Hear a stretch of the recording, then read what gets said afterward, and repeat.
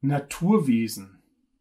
Naturwesen finden sich überwiegend natürlich dort, wo sie etwas fern sind vom menschlichen Trubel. Es ist so, dass letztendlich jede Straße auch systemisch für den menschlichen Geist, für die starke Mentalkraft des Menschen, für die Vernunftsorientiertheit steht.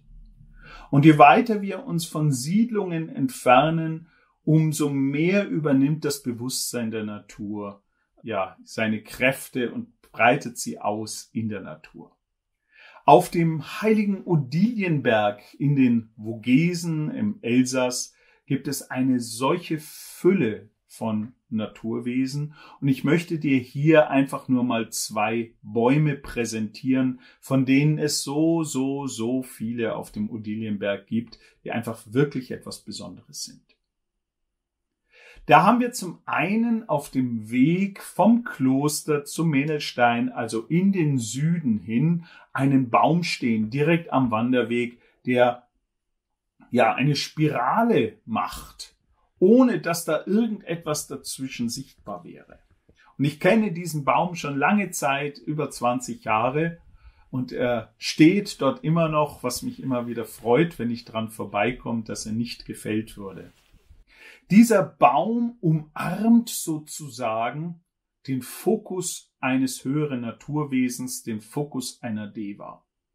Ein so unglaublicher Wuchs, der sozusagen eine imaginäre, nicht sichtbare Säule umwindet. Und diese Säule, diese energetische Säule, diese unsichtbare Kraft ist dann eigentlich der Fokus der Deva. Ein ganz, ganz wunderbarer Platz. Und von diesen gibt es, wie gesagt, mehrere.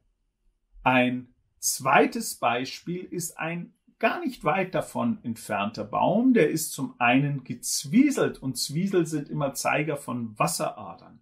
Aber dieser ist nicht nur gezwieselt, sondern wenn man so will, gedrieselt, also hat drei Hauptständen gebildet. Zwei im Spitzenwinkel, ein klassischer Zwiesel und einer in einem solchen Kandelaberwuchs, sagt man dazu.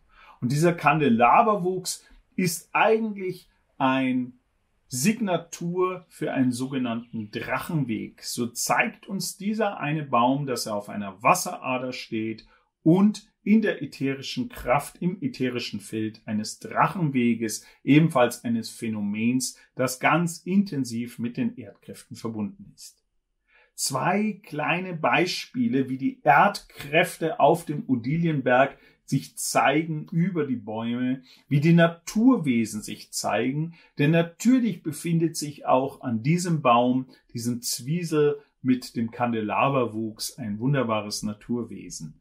Und ich kann euch nur raten, den Odilienberg einmal zu erwandern. Es gibt da so viele fantastische Plätze und so viele Plätze, an denen die Naturwesen präsent sind.